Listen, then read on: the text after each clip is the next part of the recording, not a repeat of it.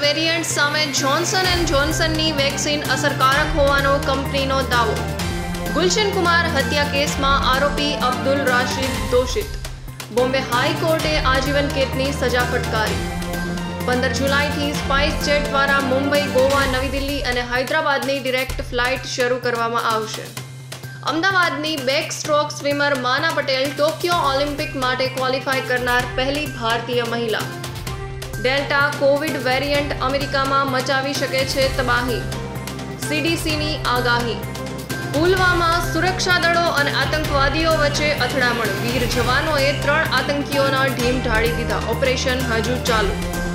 જમ્મુ કાશ્મીરના અર્નિયા સેક્ટરમાં બોર્ડર પર દેખાયા ડ્રોન. બીએસએફ જવાનોએ કરી ફાયરિંગ.